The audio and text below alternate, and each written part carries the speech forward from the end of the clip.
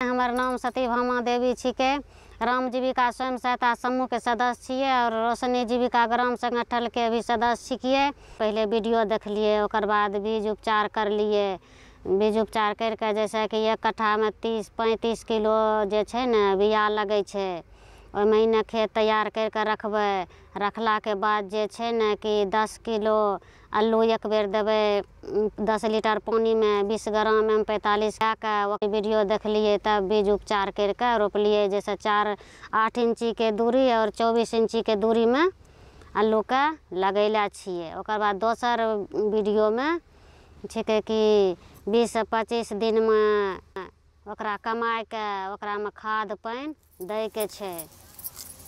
ओकरा बाद फेर खाद पानि देलाके बाद खेत अरी आबै छै देखै लए कि हमर बढ़िआँ छै कि कोनो बेमारियो छै। ओकर बाद छै एम पैंतालीसके छिड़काव करै छियै। आ ओकर फेर बारह दिनामे देखै छियै हमर आलू आर बढ़िआँ छै, तऽ बाद दस बारह दिना तकमे ओकरा फेरसँ छिड़काव करैके छै। वीडियो देखलियै कि अबरी नया मालूम होलै कि खेतके आलू उखाड़ैके पहले, दस पंद्रह दिन पहिले लत लत्तीके काटि देबै कटलाके बाद जे छै ने आलू बढ़िआँ बैठै छै वज़न होइ छै, ई अबरी जा बतेलकै हन।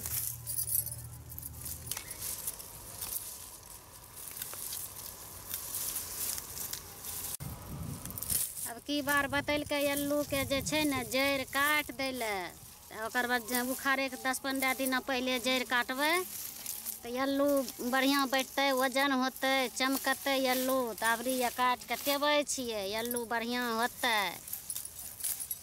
अल्लूके लत्ती काटि देलासँ जे छै ने, मुसबो चूहा भागि जेतै।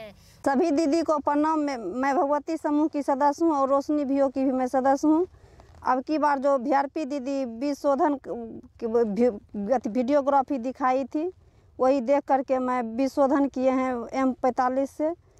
वीआरपी दीदी वीडियो दिखाई बताए बताया गया उसमें कि बीस पौधा है पौधा आठ इंच की दूरी पर लगाना है। उसके बाद पच्चीस दिन के बाद इसमें सिंचाई करना है खाद देना है और कमौनी करना है। और उसके बाद वो बताई कि, कि इसमें छिड़काव करना है तो हम एम पैंतालीस से छिड़काव किए हैं। हम इसमें गोटा बीज लगाए हैं। तीस दिन के बाद हम इसको उखाड़ना है, इसको, उसके बाद पंद्रह दिन जो बचेगा तो हम तना काट लेंगे। वीडियो में देखे थे कि तना काटने से आलू का वज़न बढ़ता है और चमक भी आता है। मेरा नाम निभा कुमारी है। हनुमान हनुमान जीविका से जुड़ी हुई हूँ, रोशनी भियो की सदस्य हूँ। इस बार मेरी वी दीदी ने आलू श्रृंखला की कई वीडियो दिखाई है। आलू की बीज शोधन दिखाई है। उसके बाद एम पैंतालीस से घोल बनाने की विधि बताई है। और पंक्ति बाय पंक्ति आलू रोपने की 24 इंच की दूरी पे आलू रोपने की बताई है। 20 से 25 दिन के बाद निकौनी करना चाहिए। निकौनी करने के बाद खाद देना चाहिए। खाद देने के बाद पानी चढ़ाना, मिट्टी चढ़ाना चाहिए। मिट्टी चढ़ाने के बाद पानी डालना चाहिए। इस वीडियो इसी तरीका हम लोग देखे हैं। भीआरपी दीदी ने आलू में एम पैंतालीस से गैसिंग करने के वीडियो दिखाई है। इस बार वीडियो देख के खेती किए हैं। पंद्रह दिन बाद मेरा आलू खरने वाला है। इस बार तना काटते हैं।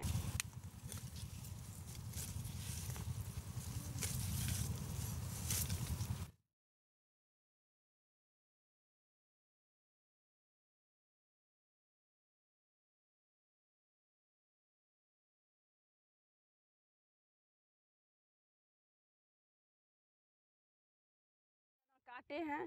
काटने के बाद देखें वज़न कितना बढ़ता है।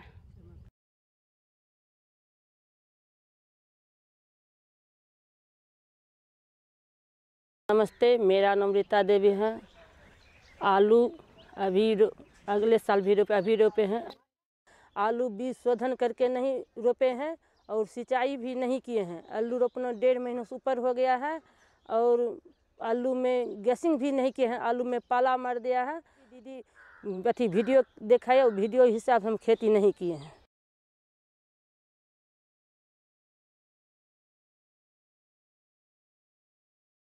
हाँ देखिए दीदी इस बार हम आलू लगेले छियै वीडियो देखी के आलू लगेले छियै पैंतालीस से बीज के शोधन भी करलियै गेसिंग भी करलियै हमें एम पैंतालीस से नहीं शोधन करा सकलिए हमर ठीक नहीं लते जरि गेलै। ओकर बाद कतार से कतार आलू लगेलियै चौबीस इंच के लाइन लग देलियै और आठ इंची के दूरी पर आलू लगेलिए। ओकर बाद पंद्रह से बीस दिन के बाद हमें कौनी भी करलियै कौनी करी के खाद उद दे के गेराई करलियै करलिए, आठ इंची पर आलू खेती बढ़िया से बना के आठ इंची पर आलू लगेलिए, लेकिन एके बार गैसिंग करलिए, हमर आलू बढ़िया नहीं हेले पल्ला मार देलकै। हमरा तो आलू पर हम गेसिंग पंद्रह बीस दिन में गेसिंग करते रहे छियै तीन बार चार बार गेसिंग कए लेकिन पाला मारलकै आलू खत्म हो गेलै पल्ला मारि देलकै आलू हमर खत्म हो गेलै।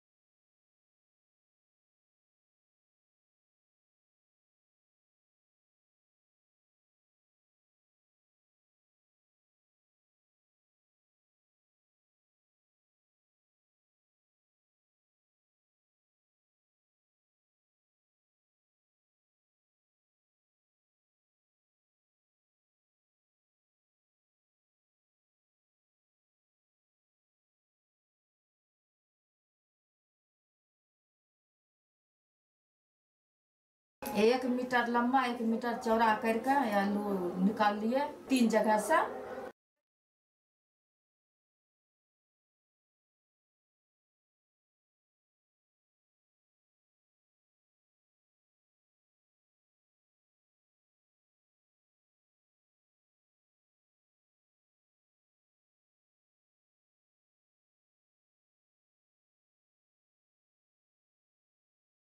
एक मीटर लंबाई चौड़ाई तीन जगह से आलू उखाड़े हैं।